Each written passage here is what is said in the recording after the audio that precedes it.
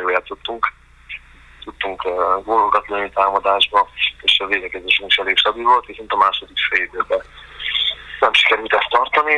Elő eladtunk labdákat, nagyon sok technikai hibánk volt, és ebből a lőven könnyű kontragólokat is lőtt, valamint a védelmünkbe is visszaesett az összpontosítás.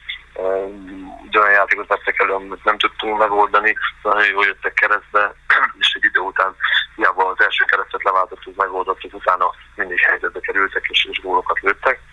Nagyon sajnálom, azt gondolom, hogy, hogy több volt abban a meccsben, végre kicsit elfáradtunk. Ilyen óriási tempót diktáltunk az első fél időben, és amint labdát szereztünk, rögtön gyorsan mentünk előre, és ez egy nagy tempó azért ránk is hatással volt, és, és elfáradtunk egy kicsit.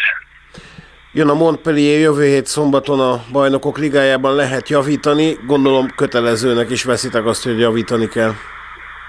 Így van, sajnos megállás nincs, időre pihen nagyon nincsen, hétközben még azért van egy bajnoki fordulónk is, és uh, hát a Montpellier sem lesz egy egyszerű mérkőzés.